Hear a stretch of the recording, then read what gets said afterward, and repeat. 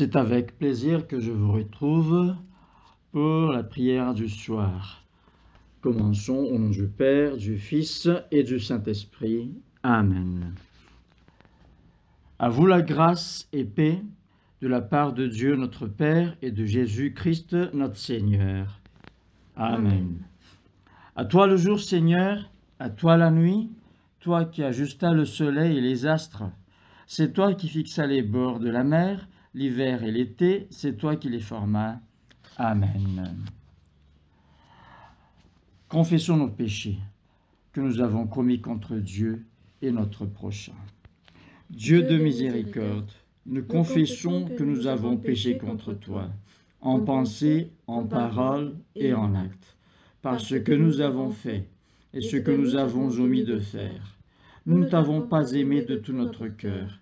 Nous n'avons pas aimé notre prochain comme nous-mêmes. Nous regrettons sincèrement ces fautes. Humblement, nous nous en repentons. Pour l'amour de ton Fils Jésus-Christ, prends pitié de nous et pardonne-nous. Alors ta volonté fera notre joie et nous pourrons marcher dans tes chemins pour la gloire de ton nom. Amen. Que le Dieu Tout-Puissant vous fasse miséricorde, qu'il vous pardonne vos péchés, par Jésus-Christ notre Seigneur, qu'il vous affermisse en tout bien, et par la puissance de l'Esprit Saint, qu'il vous garde pour la vie éternelle. Amen. Dieu vient à mon aide. Seigneur, à mon secours. Gloire au Père et au Fils et au Saint-Esprit, au Dieu qui est, qui était et qui vient, pour les siècles des siècles. Amen. Alléluia.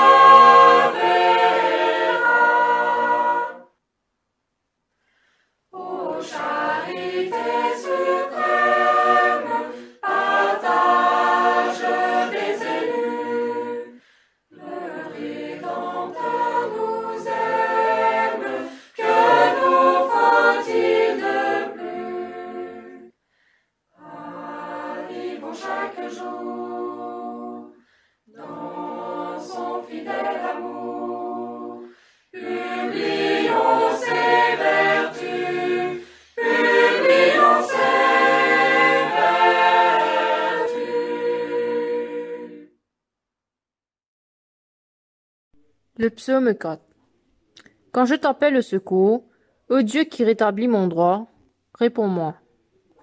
Déjà, quand j'étais opprimé, tu m'as rendu la liberté. Fais-moi la grâce d'écouter ma prière.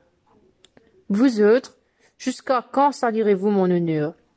Vous qui aimez accuser pour rien et qui cherchez à me calomnier. Apprenez que le Seigneur distingue celui qui est fidèle. Il m'écoute quand je l'appelle au secours. Si vous êtes fâchés, ne vous mettez pas en taux. Réfléchissez pendant la nuit, mais restez tranquille. Offrez plutôt les sacrifices convenables et fiez-vous à la décision du Seigneur. Beaucoup se plaignent. Ah, que nous aimerions voir le bonheur. Seigneur, fais-nous bon accueil. Mais dans mon cœur, tu mets plus de joie que ces gens n'en trouvent à récolter tout leur blé et tout leur vin. Aussitôt couché, je peux m'endormir en paix, car toi, Seigneur, toi seul, me fais vivre en sécurité. Gloire soit au Père, au Fils et au Saint-Esprit, comme il était au commencement, comme il est maintenant, et comme il sera éternellement. Amen. La première lecture est tirée du livre d'Ézéchiel, chapitre 14, le verset 12 à 23. Le Seigneur m'adressa la parole, Toi, l'homme, suppose que la population d'un pays se rende coupable envers moi en m'étant infidèle. Eh bien, je manifesterai ma puissance contre elle. Je détruirai ses réserves de pain, je lui infligerai la famine et ferai disparaître ainsi hommes et bêtes du pays. Même si trois hommes tels que Noé, Daniel et Job se trouvaient parmi les habitants, leur infidélité ne servirait à préserver que leur propre vie. Je l'affirme, moi, le Seigneur Dieu. Ou bien je lâcherai des bêtes féroces contre cette population. Le pays deviendra un désert, car les bêtes tueront tous ses habitants et personne ne s'y hasardera plus par peur d'elle. Si les trois hommes déjà nommés s'y trouvaient, ils seraient les seuls à survivre. Par ma vie, je l'affirme, moi le Seigneur Dieu, ils ne pourraient même pas sauver leurs propres enfants, et le pays deviendrait un désert. Ou bien je ferai subir la guerre à cette population. J'ordonnerai à une armée de ravager le pays et d'en exterminer les hommes et les bêtes. Si les trois hommes déjà nommés y habitaient, ils seraient les seuls à survivre. Par ma vie, je l'affirme, moi, le Seigneur Dieu, ils ne pourraient même pas sauver leurs propres enfants. Ou bien encore, j'enverrai une épidémie de peste à cette population. Je manifesterai ma colère contre elle par ce fléau mortel exterminera hommes et bêtes du pays. Même si Noé, Daniel et Job se trouvaient parmi les habitants, leur fidélité servirait uniquement à préserver leur vie. Par ma vie, je l'affirme, moi le Seigneur Dieu, ils ne pourraient même pas sauver leurs propres enfants. Ensuite le Seigneur Dieu me déclara, J'ai infligé à Jérusalem des quatre grands fléaux que sont la guerre, la famine, les bêtes féroces et la peste, de façon à exterminer les hommes et les bêtes. Il reste cependant quelques survivants, des hommes et des femmes. On les a fait sortir de la ville, ils vous rejoindront en exil. Quand vous verrez leur conduite et leur acte, vous changerez d'avis devant les grands malheurs que j'ai déchaînés sur Jérusalem. Vous changerez d'avis, car vous comprendrez, après les avoir vus, que j'ai eu raison d'agir comme je l'ai fait contre cette ville. Je l'affirme, moi le Seigneur Dieu. Parole du Seigneur. La deuxième lecture. 2 Corinthiens, chapitre 11, les versets 1 à 15. Ah, je souhaite que vous supportiez un peu de folie de ma part. Eh bien oui, supportez-moi. Je suis jaloux à votre sujet, d'une jalousie qui vient de Dieu. Je vous ai promis en mariage à un seul époux, le Christ, et je désire vous présenter à lui comme une vierge pure. Mais, tout comme Ève se laissa égarer par la ruse du serpent, je crains que votre intelligence ne se corrompe et ne vous entraîne loin de l'attachement fidèle et pur au Christ. En effet, vous, supportez fort bien que quelqu'un vienne vous annoncer un Jésus différent de celui que nous vous avons annoncé. Vous êtes également prêt à accepter un esprit et un message différent de l'esprit et de la bonne nouvelle que vous avez reçu de nous. J'estime que je suis inférieur à rien à vos super apôtres. Il est possible que je ne sois qu'un amateur quant à l'art de parler, mais certainement pas quant à la connaissance. Nous vous l'avons clairement montré en toute occasion et à tous égards. Quand je vous ai annoncé la bonne nouvelle de Dieu, je l'ai fait gratuitement. Je me suis abaissé afin de vous élever.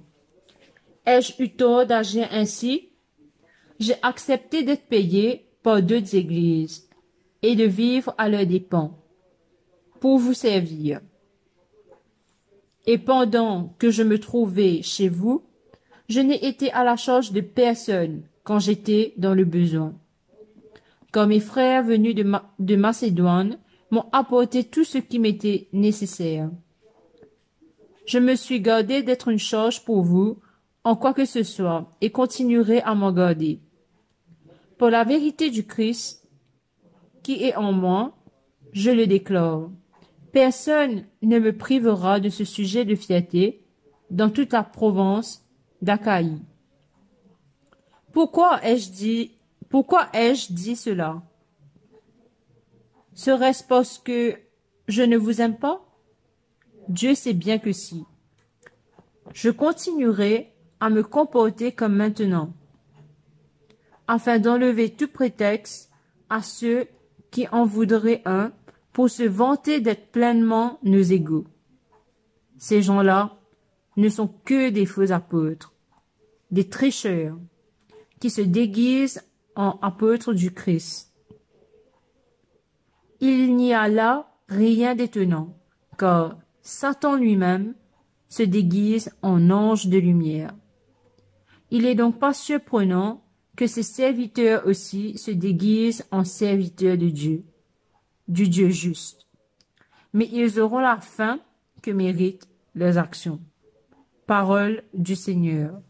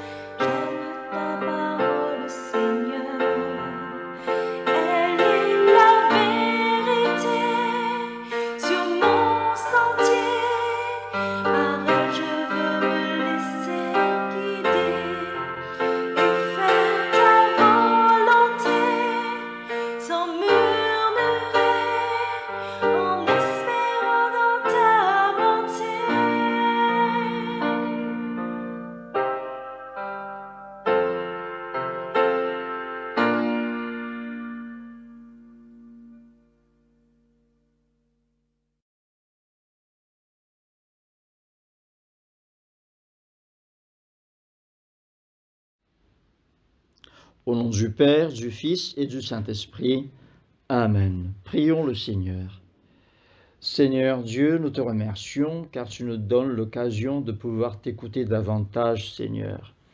Aussi que ton Saint-Esprit, Seigneur, nous guide dans ta vérité et que ton Saint-Esprit nous donne la force spirituelle nécessaire pour pratiquer ta parole dans notre vie. Parle-nous, Seigneur, car nous t'écoutons. Au nom de Jésus de Nazareth, nous prions. Amen. Aujourd'hui, mes chers amis, la parole du Seigneur nous vient du psaume 4 au verset 7 qui se lit comme suit. Beaucoup se plaignent, ah, que nous aimerions voir le bonheur. Seigneur, fais-nous bon accueil. Amen. Le psalmiste ainsi donc nous dit qu'il y a beaucoup de personnes sur cette terre qui se plaignent, qui demandent à Dieu d'avoir le bonheur et qui demandent à Dieu pour qu'il leur fasse bon accueil. La question qui me vient à l'esprit en entendant cela, c'est d'abord que est-ce que le Seigneur veut vraiment notre bonheur à nous, l'humanité? Quand nous voyons et quand nous entendons tout ce qui s'y passe, tout ce qui se passe par ici et par là, sur cette terre, il n'y a que des calamités, il n'y a que des souffrances, dirait-on, dirons-nous. En réponse à cette question, regardons ce qui est écrit dans la Bible. Par exemple, tout au commencement, quand Dieu a créé l'univers et l'humanité, il a d'abord créé tout ce qui était nécessaire pour le bonheur des hommes. Et ce n'est que vers la fin, quand tout, fut prêt, que Dieu a créé l'homme. Ça nous prouve que Dieu se souciait du bonheur des hommes. Et si nous allons encore un peu plus loin dans euh, le livre du Deutéronome au chapitre 28, nous trouvons que Dieu a fait des promesses de bonheur à son peuple, aux Israélites. Le Deutéronome chapitre 28, le verset 1 à verset 14, il y a beaucoup de promesses de bonheur pour les Israélites, mais non pas seulement pour les Israélites, mais ça peut aussi s'appliquer pour tous les hommes et spécialement pour nous les chrétiens. Et si nous allons encore plus loin dans l'évangile selon saint Matthieu, nous verrons au chapitre 5 que il est question de ce qu'on appelle le vrai bonheur. Le vrai bonheur, je, vous en, je vais vous en lire quelques passages du verset 3 à 7. Heureux ceux qui se savent pauvres en eux-mêmes, car le royaume des cieux est à eux. Heureux ceux qui pleurent, car Dieu les consolera. Heureux ceux qui sont doux, car ils recevront la terre que Dieu a promise. Heureux ceux qui ont faim et soif de vivre comme Dieu le demande, car Dieu exaucera leurs désirs. Heureux ceux qui ont de la compassion pour autrui, car Dieu aura de la compassion pour eux. Amen, etc., etc. Tout ceci nous prouve, chers frères et sœurs en Christ, que Dieu a vraiment dans le cœur de nous donner à nous les hommes le bonheur, de faire en sorte que nous les hommes, nous vivions euh, totalement dans la joie sur cette terre. Mais alors, diriez-vous, pourquoi est-ce que cela n'arrive pas sur cette terre? Pour comprendre cela, nous allons revoir ce qui est écrit dans le livre d'Ézéchiel que nous avons, entendu, tout à l'heure. Le livre d'Ézéchiel au chapitre 14, du verset 12 au verset, euh, euh, verset jusqu'au verset euh, 21. Il était question, mes chers amis, là, d'un jugement que Dieu va faire abattre sur cette terre et que rien ne pourra arrêter Dieu dans ce jugement-là. Quels sont ces jugements? Dans le verset 15, Dieu a parlé qu'il va relâcher, qu'il va plutôt lâcher des bêtes féroces contre la population. Et ces bêtes féroces-là tueront les habitants et personne ne s'y hasardera plus par peur d'elle. Au verset 17, Dieu dit que je ferai subir la guerre à cette population, j'ordonnerai à une armée de ravager le pays et d'en exterminer les hommes et les bêtes. Quant au verset 19, Dieu parle d'envoyer une épidémie de peste à cette population et ainsi il manifestera sa colère contre elle par ce fléau mortel qui exterminera hommes et bêtes du pays. Et personne ne pourra arrêter ce que Dieu a projeté de faire. Même si, hein, comme Dieu le dit, même si Noé, Daniel et Job seraient, se trouveraient parmi vous et qu'ils intercéderaient pour vous, je ne les écouterai point. Alors vous, vous voulez peut-être vous dire que qui sont ces trois hommes? Ces trois hommes, mes chers amis, sont écrits dans la Bible. Ces trois hommes, par exemple, dans le livre de Genèse, au chapitre 6, Dieu parla de Noé au verset 9 et 10 comme suit. Voici l'histoire de Noé, qui était père de trois fils, Sem, Cham et Japheth. Seul parmi ses contemporains, Noé était un homme droit, fidèle à Dieu. Il vivait en communion avec Dieu. Pour ce qui est de Job, il est écrit dans le premier chapitre du livre de Job et au verset, verset 8, Dieu parlait à Satan en lui disant, tu as, sûrement remarqué mon serviteur Job, dit le Seigneur. Il n'a pas son pareil sur terre. C'est un homme irréprochable, irréprochable et droit. Il m'est fidèle et se tient à l'écart du mal. Quant à Daniel, dans le livre de Daniel au chapitre 3, Dieu parla de Daniel et de ses compagnons comme des gens qui restaient fidèles à Dieu, malgré la menace que le roi Nabucodonosor leur euh, disait, leur brandissait. Au verset 17 du chapitre 3 de Daniel, ces trois hommes répondirent à ce roi en disant, Sache toutefois que notre Dieu, le, le, Dieu que nous servons, capable de nous sauver. Oui, il nous arrachera à la fournaise et à ton pouvoir, et à supposer qu'il ne le fasse pas. Sache bien que nous refuserons quand même de servir tes dieux et d'adorer la statue d'or que tu as fait dresser. Amen.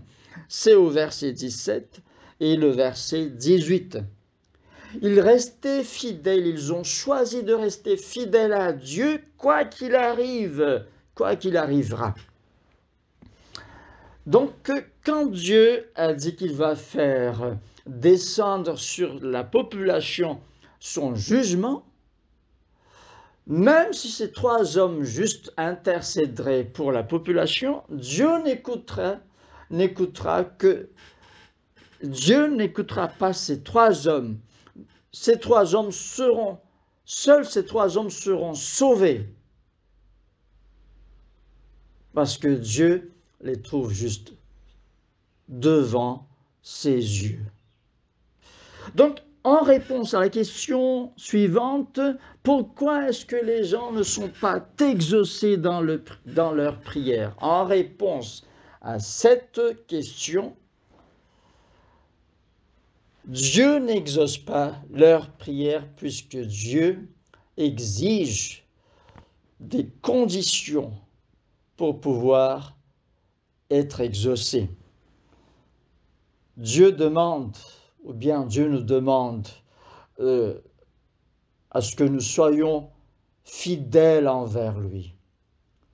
Surtout nous les, chrétiens. Dieu nous demande à ce que nous soyons irréprochables dans nos conduites.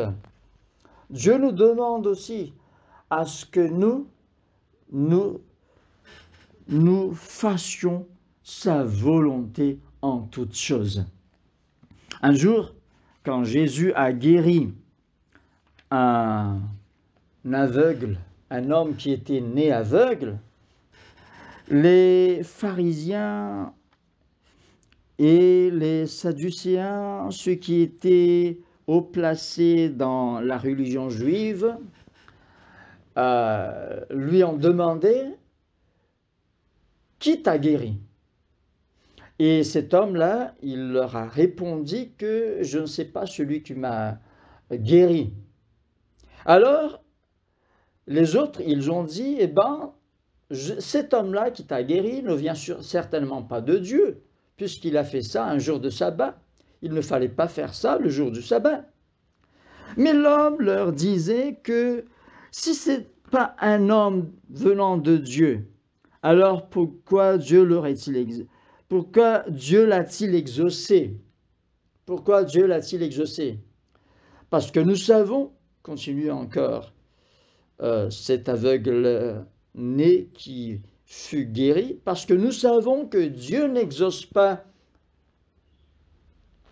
les pécheurs. Dieu exauce seulement ceux qu'il trouve justes devant lui. Certainement, cet homme vient de Dieu, disait le- l'aveugle né qui fut guéri. Eh bien, mes chers amis, ceci nous illumine que pour être exaucé dans, notre, dans nos prières, il faut que nous, nous soyons fidèles à Dieu et que nous soyons irréprochables, c'est-à-dire que euh, nous soyons sans faute. Mais diriez-vous peut-être, qui peut prétendre être sans faute devant Dieu? Certes, personne ne peut prétendre être sans faute devant Dieu, mais ce n'est pas pour autant une excuse pour que nous, nous déversions toujours dans nos péchés. Non, ce n'est pas une excuse valable. Mais il faut que nous fassions attention dans tout ce que nous faisons devant Dieu, afin que nous soyons irré- irréprochables à ses yeux. Chers amis, Dieu veut exaucer nos prières. Dieu veut nous faire bon accueil. Mais c'est à nous, à notre tour, de faire en sorte que Dieu éprouve du plaisir en nous voyant faire sa volonté. Que Dieu puisse nous aider à vivre selon sa parole. Amen.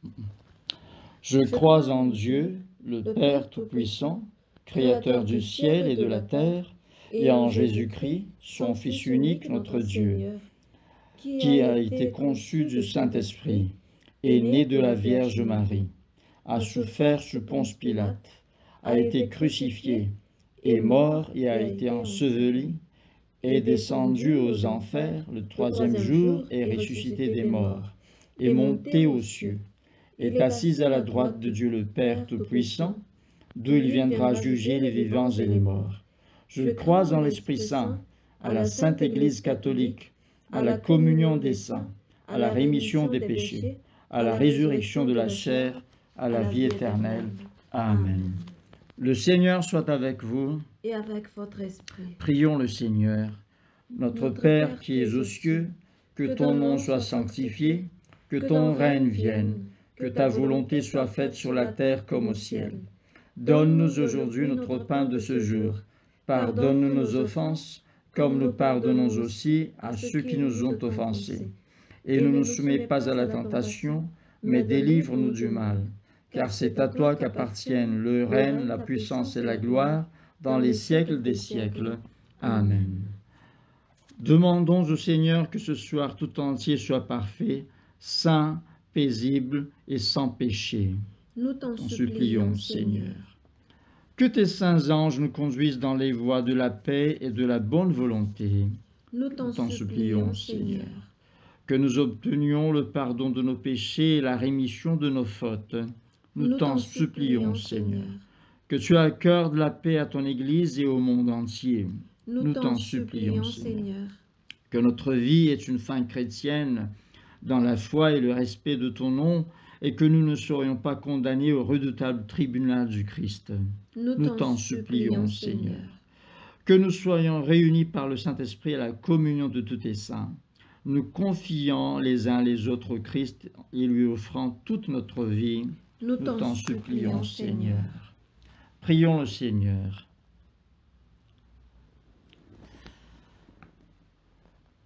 Seigneur, notre Dieu, ton Fils Jésus-Christ a triomphé des puissances de la mort. Il nous a, il nous a préparé une place dans la Jérusalem nouvelle. Puisque nous te rendons grâce aujourd'hui de sa résurrection, accorde-nous de pouvoir un jour chanter ta louange dans la cité dont il est la lumière, lui qui vit et règne dans les siècles des siècles. Amen. Amen. Prions pour la paix. Ô Dieu que, qui nous fait désirer ce qui est saint, choisir ce qui est juste et accomplir ce qui est bon, donne à tes serviteurs cette paix que le monde ne peut donner, afin que nos cœurs s'attachent à tes commandements et que, délivrés de la crainte de tout ennemi, nous puissions vivre dans le calme et la tranquillité par Jésus le Christ, notre Seigneur. Amen. Amen. Demandons la présence du Christ chaque jour. Reste avec nous, Seigneur, car il se fait tard et déjà le jour baisse. Sois notre compagnon sur la route. Enflamme notre cœur, ravive notre espérance pour que nous te découvrions dans les Écritures et dans le pain partagé. Nous te le demandons dans ta tendresse. Amen. Ô Dieu et Père de tous, toi que tous les cieux glorifient, fais que la terre entière t'adore et te chante, que toutes les nations t'obéissent et que toutes les langues te confessent et que partout les peuples t'aiment et te servent dans la paix. Par Jésus le Christ notre Seigneur. Amen. Prions ensemble la prière de Saint Jean Chrysostome. Dieu Tout-Puissant, toi qui nous as accordé la grâce de t'adresser d'un cœur unanime notre prière commune, tu as promis par ton Fils que lorsque deux ou trois se réuniraient en son nom, tu serais au milieu d'eux. Comble maintenant, Seigneur, nos désirs et nos vœux, selon ce qui nous est utile. Donne-nous en cette vie la connaissance de ta vérité et dans le monde à venir la vie éternelle. Amen. Bénissons le Seigneur. Nous rendons grâce à Dieu. La grâce de Jésus-Christ notre Seigneur, l'amour de Dieu le Père et la communion de l'Esprit Saint soient toujours avec nous. Amen. Amen.